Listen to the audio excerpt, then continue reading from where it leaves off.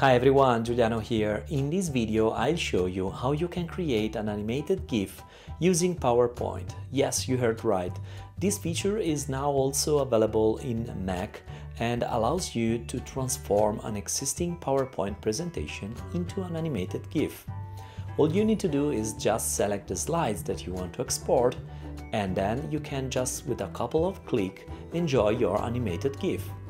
You can use, for example, morph as animation to transform object or to move object from a point to another. Okay, let's move forward and I'll show you every step. Here I am on my PC and I have PowerPoint desktop open.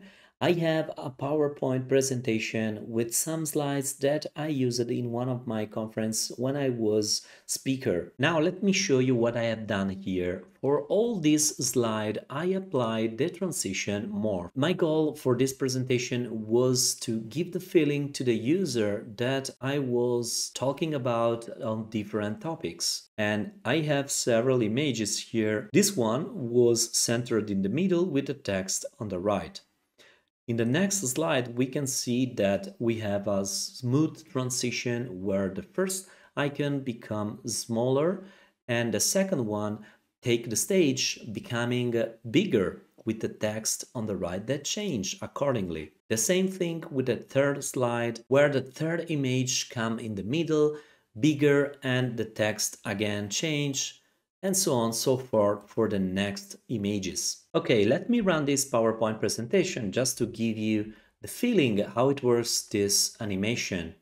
Here we go. This is the first one where I have the first image with the text.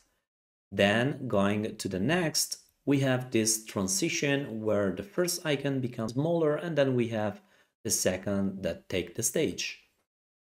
And so on so forth. So we can see that other images come from right to left and the text changes so I can speak for every different topic. Now let's say that I'm good with this PowerPoint presentation. I have just six slides, but this is enough to have a preview of what I will deliver. Now let's say that I am ready to share this presentation. I want to have a preview as I said, so I will send an animated GIF per email or just sharing a OneDrive link, for example. All I need to do now to convert this PowerPoint presentation in an animated GIF is click in the top left corner on File and then on Export. Here there is this new option, Create an Animated GIF. Selecting now this option, I'm able, clicking on this drop down, to select the quality that I want to have for my animated GIF. I have four options, extra large, full HD quality, large, high quality, medium and small. Of course, it depends the target. So if I have to send this as an email, could be fine to have medium or large, but let's say that I want to have the maximum possible resolution. So I will select full HD quality. Then you have here a checkbox that allows you to decide if you want to make transparent the background. This is not the case.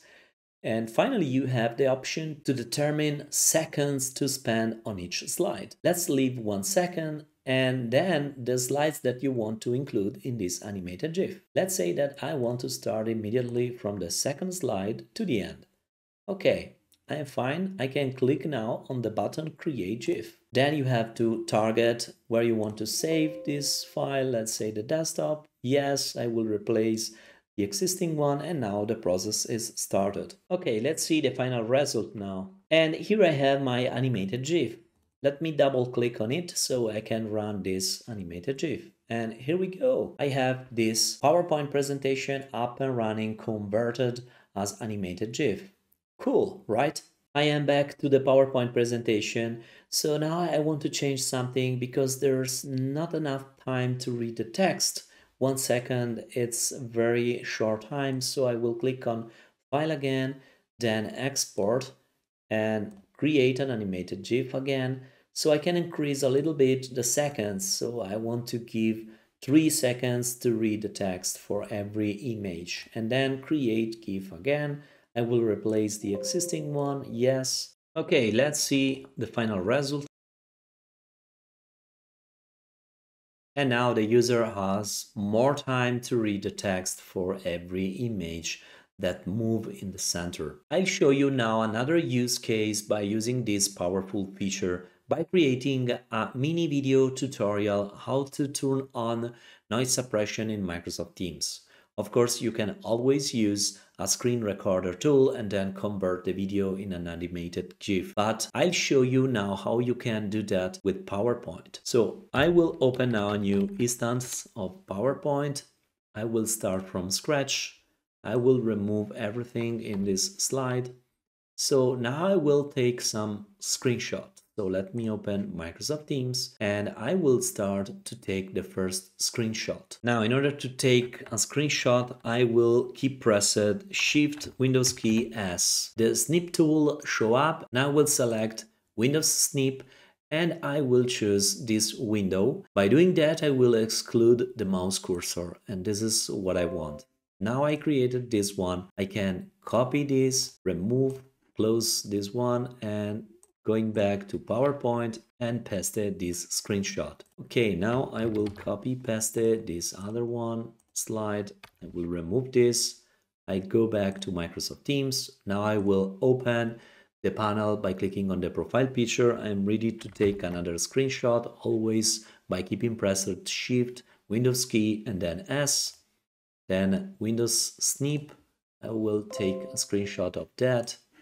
Again, let me copy this image and then let me go back on PowerPoint and I will paste it this other one. Let me add a new slide. Let me go now. I will click on settings. So I'm ready to take this other one. Okay, I will copy this one. Let me close. Going back on PowerPoint. Okay, I almost finished. I have to open the devices. Then I will take this one again in PowerPoint. I will paste this last one. And finally, let me select now from noise suppression, high. I need this other window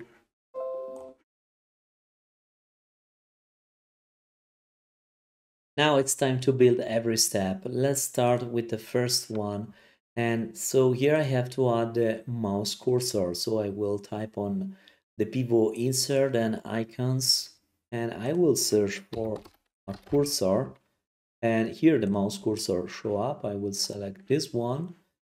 So now I have to do some change here. So for example, I have to rotate a little bit this image then I want to apply a different color. I want to have white and outline black. So now I have something more similar to the mouse cursor. And then I have to reduce the size, of course. These sides, I would say it's, it's fine. Okay. So first thing to do, we will start from this position and we will have now this first starting point. Then I will copy this mouse cursor. I will go to the second slide and then I will move now the cursor to into the profile picture.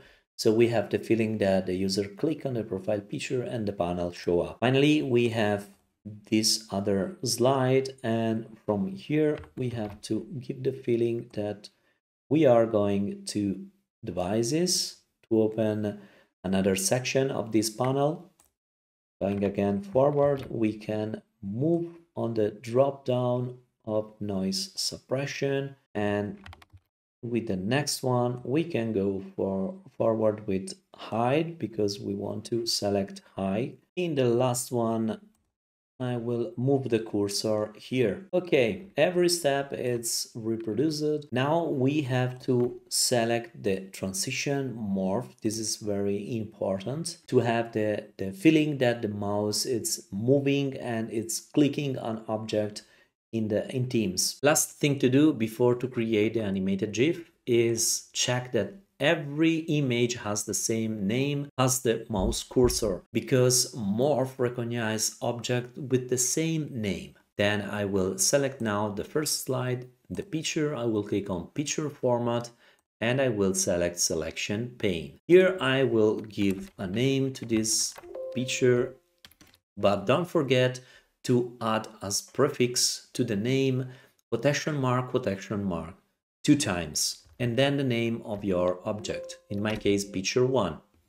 Okay, so let me copy this name because I will reuse this for every other image. Okay, now I have to do the same for the mouse cursor. So I will select this graphic 6. I will type always 1. Okay, now I can copy this and I can and I can replace all other name jump on the third one. Okay, I can run now this PowerPoint presentation and let's see how it looks like. And here we go. So we have this first step where the, the user click on the profile picture, then move on device.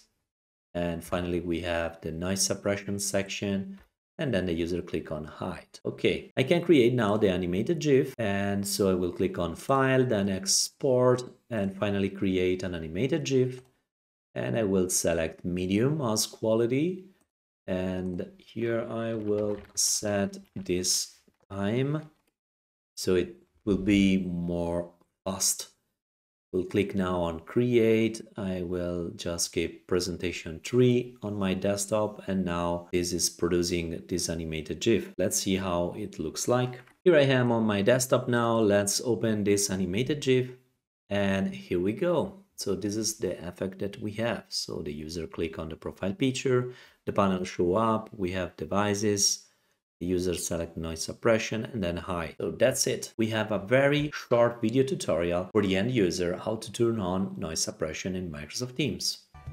Okay, in this short video tutorial we have seen how to create an animated GIF with PowerPoint. As always, if you enjoyed the video, please give a thumbs up and subscribe to my channel and don't forget to ring the bell to stay tuned with my next videos. Put a comment down below if you want to see me cover any other topics in the future. This is also how I build my to-do list for my next videos. I hope to see you next time. Bye.